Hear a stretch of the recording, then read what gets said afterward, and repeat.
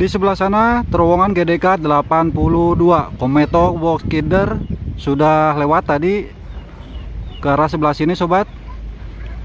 Ya sobat, nanti kita tunggu pengiriman box feeder dari arah sebelah sana. Kita nunggunya di arah sebelah sini saja ya. Jembatan layang ke 25 lalu jalur subred ke 28B. Ke arah sebelah barat menuju terowongan bagian outlet GDK 82.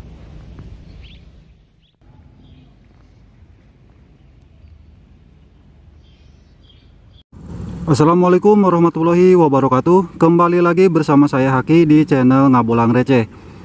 Masih di jalur proyek kereta cepat Jakarta-Bandung Saat ini saya sedang berada di antara DK 81 dan 82 Hari ini Rabu 7 September 2022 Di mana pada hari ini akan ada pengiriman box feeder Yang kemungkinan ini adalah box feeder terakhir yang dikirim dari casting yard 4 Bandung arah selatan. Ke arah sebelah sana nampak bridge ke 25 di atas jalan raya Anjun. Lalu di sini ada jalur subgrade dan ke arah sebelah selatan menuju ke terowongan 5 dan terowongan 6 sesaat lagi pengiriman box feeder ke 723 yang diproduksi dari casting yard 4 Bandung sesaat lagi akan melintas di lokasi ini Ya Sobat Youtube di mana pun Anda berada kurang lebih bulan November 2019 yang lalu Pemasangan box feeder dari arah Bandung mulai didistribusikan ke dua arah Ke arah sebelah selatan dan ke arah sebelah barat menuju ke Jakarta. Dan saat ini pada hari Rabu 7 September 2022 Tidak terasa Sobat Hari ini menjadi pengiriman box feeder terakhir dengan nomor 723 Kita akan menunggu pengiriman box feeder di sebelah sana sobat yang nanti kita akan melihat box feeder ini masuk ke dalam tunnel GDK 82 kita abadikan momennya di arah sebelah sana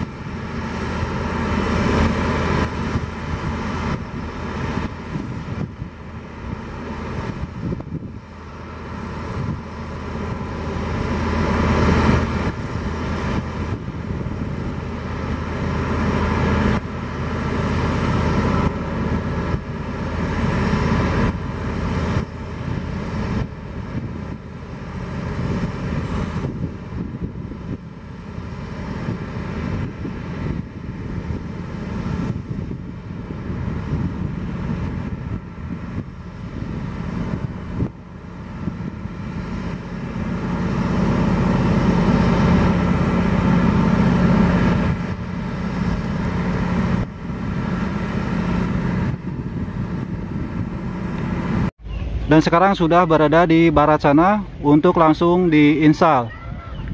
Terima kasih sudah menonton. Jangan lupa video berikutnya. Nanti kita akan ke pemasangan box kidder 723 di sebelah sana. Kurang dan lebihnya saya mohon maaf. Sampai jumpa di video berikutnya. Wassalamualaikum warahmatullahi wabarakatuh. Bye bye